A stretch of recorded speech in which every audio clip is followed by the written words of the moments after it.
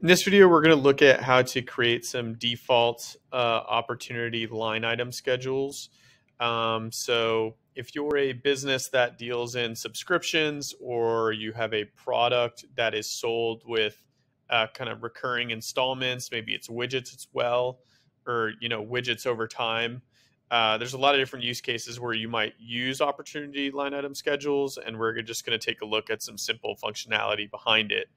Uh, as always, if you find this useful, um, please subscribe. And if you've got any questions, feel free to uh, write in an email uh, that's listed in the description, and I'll get back to you as soon as I can.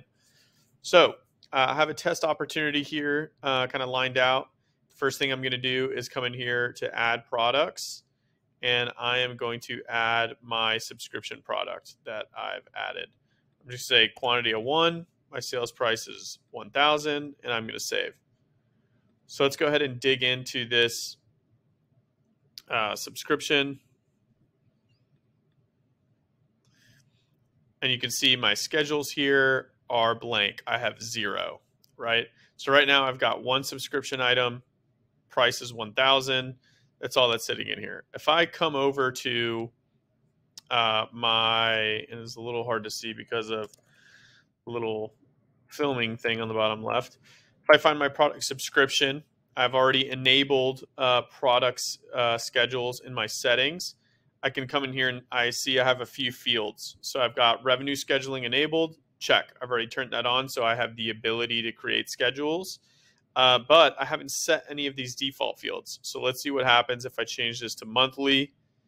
I want to divide them out into multiple installments, meaning whatever is my price for that product, I want to divide it into multiple installments over time. And I want to do that over a 12 month period. Uh, this is a year subscription. So that's the way I sell my subscriptions. I'm going to default to 12.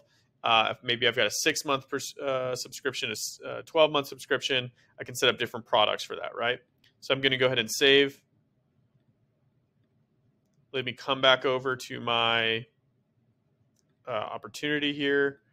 I'm going to re-add this subscription product.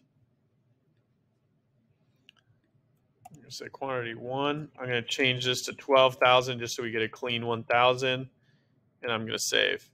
So if I click into this item with the 12,000 and look at related, you can see here I have one uh, 12 schedule line items, all with the $1,000 uh, uh, amount.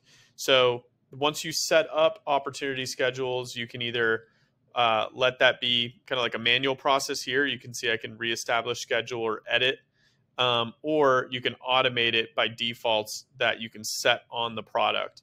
Uh, you can also create custom flows that, that create custom schedules based on other fields, but uh, this is just a quick example of how to use the default schedule uh, feature. Thank you.